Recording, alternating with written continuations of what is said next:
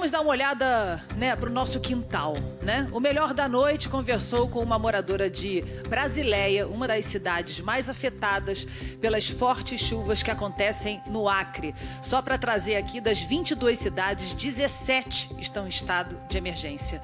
Luziane de Queiroz tem seis filhos e está há três dias fora de casa. Mina, exibe pra gente essa entrevista, por favor. Boa noite para você, Mina. Boa noite, Glenda. Desabrigados pela cheia, exibindo a entrevista.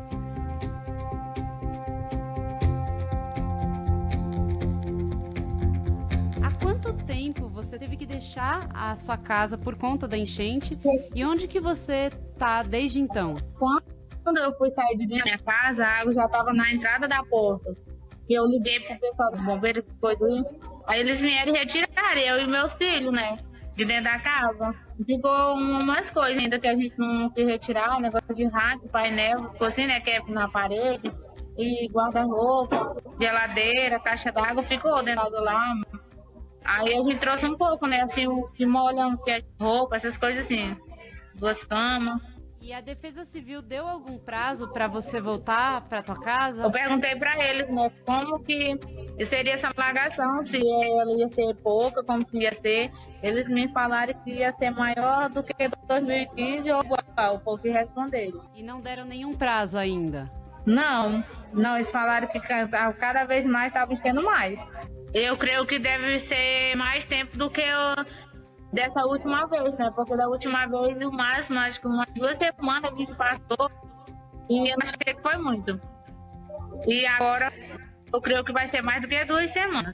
E como que tá a situação geral em Brasileia? A água já baixou um pouco ou só tá subindo? Tá subindo, tá vindo mais água ainda. Se quando eu saí não tava do jeito que tá, né? Imagina agora. Que tá vindo mais água, vindo mais cada vez, né?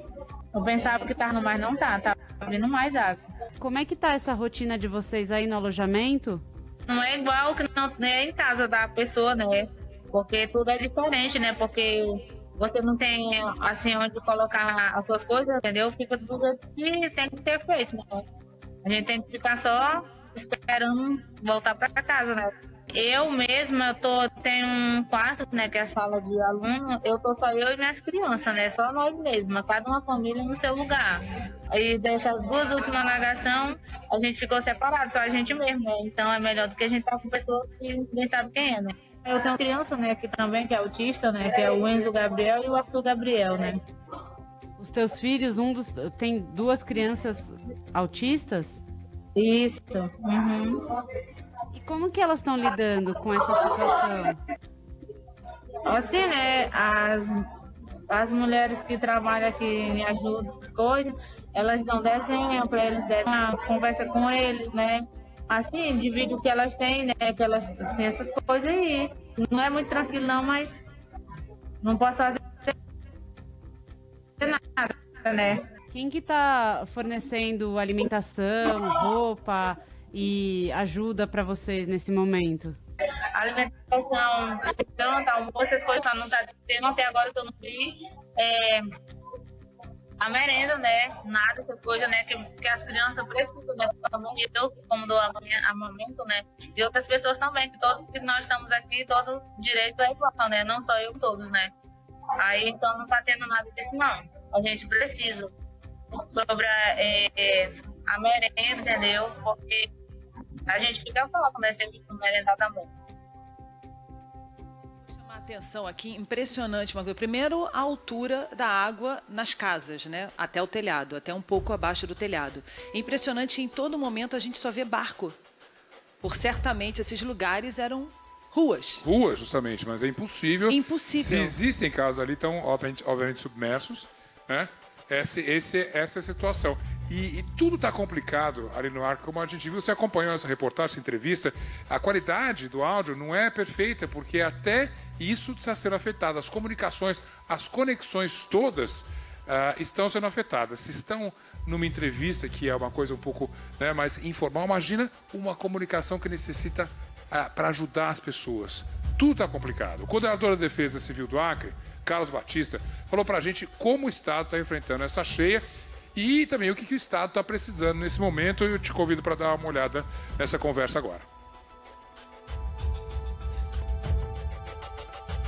Eu gostaria que o senhor nos colocasse como que está o panorama da situação agora no Acre. Nesse momento, né, o governo estadual decretou situação de emergência em 17 municípios do estado, dos 22 existentes.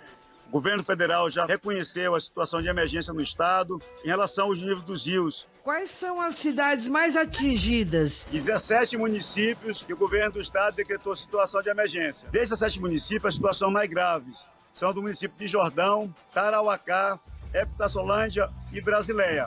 Rio Branco, a situação está começando a se agravar agora. São mais de 100 mil pessoas afetadas, ou seja, atingidas em todo o estado do Acre por essas inundações. Os níveis dos rios em algumas cidades continuam subindo, como é o caso aqui do município de, Chapuri, o nível está bem alto. A tendência é subir mais de um metro ainda. Algumas estruturas importantes aqui do município, como o hospital do município, já está sendo retirado as pessoas e colocado em outras instalações mais altas. Caso seja necessário, a rede pública de saúde de Rio Branco está preparada para receber pacientes de outras cidades? O estado do Acre, a maioria dos municípios ocorre situação de inundações. Então a Secretaria Estadual de Saúde já tem seu plano de contingência já tem toda uma estrutura da Secretaria Estadual de Saúde para atender pacientes de outros municípios, principalmente aqueles acometidos pelas inundações. O próprio secretário estadual de Saúde fez visita recentemente em alguns municípios que foram atingidos, levando insumos para é, reduzir ali os danos a essas pessoas devido às inundações. Caso alguém queira doar, como deve fazer? O governo estadual, por meio da sua Secretaria de Assistência Social e Direitos Humanos, estão providenciando toda uma campanha de arrecadação. Logo mais, essas informações estarão na mídia do governo do estado para aquelas pessoas que queiram fazer as doações conforme a listagem que vai estar disposta no site, pode fazer as suas doações em pontos estratégicos pré-determinados por a Secretaria de Assistência Social do Estado. O governo federal já enviou ajuda? O governo federal já está apoiando a estrutura, o sistema estadual de proteção e defesa civil, já vai a partir de amanhã. Vamos estar no Acre para facilitar os trâmites, né, da celeridade nas ações de apoio do governo federal ao governo estadual e às prefeituras do estado. Qual a previsão para os próximos dias? A chuva deve continuar? Em alguns municípios, os níveis dos rios já deram sinal de vazante, mas há uma previsão para os próximos sete dias de muita chuva ainda no nosso estado. É, aqui chove até o final do mês de, de abril, são um período muito chuvoso em nosso estado e a maioria dos municípios, o nível dos rios ainda continua subindo. Isso mostra que a tendência é aumentar ainda mais o número de pessoas desalojadas, o número de pessoas desabrigadas. O governo do estado, ele está tendo condições de abrigar todas essas pessoas? O governo do estado, por meio da sua Secretaria Estadual de Proteção e Defesa Civil, decretou situação de emergência nos 17 municípios e, nesse momento, as prefeituras, por meio dos seus planos de contingência de inundações, está abrigando conforme o seu, o seu plano, em locais seguros, em escolas ou outros abrigos públicos.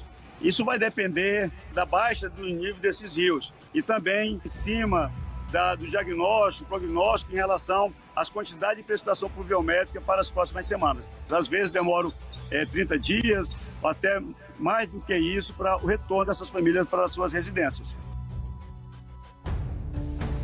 Seguimos acompanhando a situação no Acre e agora a gente vai para Rio Branco falar ao vivo com a repórter Simone Oliveira, que traz as últimas informações sobre as regiões bastante afetadas. Boa noite, Simone. É, conta para a gente a situação do estado do Acre nesse momento. Boa noite, Zeca. Boa noite, Glenda. Boa noite a todos. Nós estamos aqui em um turísticos aqui da capital africana, as margens do Acre lindo de se ver, porém muitas famílias sofrendo com essa situação. A última medição foi realizada no final da tarde de hoje, ele está com 16 metros e 30 centímetros. É, dos 22 municípios, 17 estão afetados pelas cheias aí do rio, sendo que esse número pode aumentar para 19 isso porque os municípios de Rodrigues Alves e Manuel Urbano estão em estado de alerta. Mais de 11 mil pessoas precisaram sair de suas casas, mas a Defesa Civil Estadual confirmou hoje à tarde que mais de 100 mil pessoas estão sendo afetadas pela cheia em todo o nosso estado, entre desabrigados, desalojados e aqueles que continuam em suas residências. Escolas estão servindo de abrigos e toda a assistência está sendo dada a essas pessoas, a essas famílias por parte do poder público. A previsão é de muita chuva para a próxima semana, mas a notícia boa que a gente recebeu da Defesa Civil Estadual é que a partir de amanhã alguns rios do interior do Acre vai estabilizar. Então a gente fica por aqui torcendo aí que estabilize alguns rios, porque sofrendo com essa cheia. Glenda, Zeca. Simone, muito obrigada pelas suas informações. A gente viu aqui, está mostrando aqui, certamente amanhã continuaremos trazendo todas as informações diretamente do Acre e torcendo, né, para que, já que a previsão meteorológica é de muita chuva, se a gente puder pedir para papai, papai, do céu não mandar tanta chuva assim, né, Zeca? Que a e gente que faça o pedido e que o socorro chegue logo. que essas pessoas sejam é, socorridas, né? É, quem puder ajudar, a gente tem um QR Code é, ali, você pode é, virar o seu celular para ir fazer sua doação para ajudar as vítimas dessas tragédias das águas das chuvas no estado do Acre. Mais uma vez, esse é o QR Code para você acessar a, o acesso, a possibilidade de você ajudar essas vítimas do Acre.